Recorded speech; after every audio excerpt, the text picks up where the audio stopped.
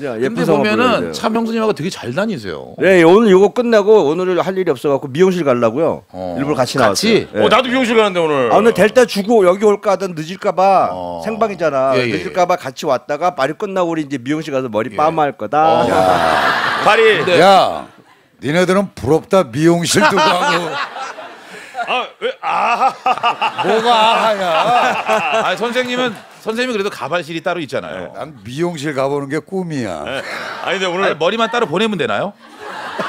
아니 오늘 가셨는데 원래는 연예인들이 어디 TV나 어디 나올라 그러면 shop에 들렸다 오잖아요. 근데 우리 형님 사무실 들렸다 사무실 오셨다고. 어, 사무실. 아까 사무실 사무실 가서 머리 하시고 오신 거. 어, 가발 회사 가 갖고 사무실 빨리빨리 해라. 시간 없다. 이쪽이 삐뚤어졌잖아. 인마. 뭐. 오리지널 한번 들려 주시죠 모바일 모바일. 아, 왜 그래? 한번 들려 주세요. 선전하는 것 같아. 쑥스러워. 괜찮습니다. 아직 연극 선전으로 나왔는데 난 무슨 얘기를 해도 꼭 가발로 끝나더라고. 아 짜증나. 부르자는 옵니다. 모발 모발 이렇게 해 주시죠. 그럼. 예. 뿌려자는 옵니다. 모발 모. 모발 애교로 이런 거죠. 나 꿈꽃똥 끼팅 꿈꽃똥 이렇게 어, 작해요. 혀 짧게, 혀 그거를 짧게. 혀 누가 하는 건데? 아니, 보통 사람들이 아, 요즘 애들 그래요? 아이돌 애들이 많이 하는 거예요. 혀 짧게 이덕화 선생님 목소리로 하면 이게 어떤지. 내, 내 걸로 예, 예. 나 꿈꽃도 기긴 꿈꽃도.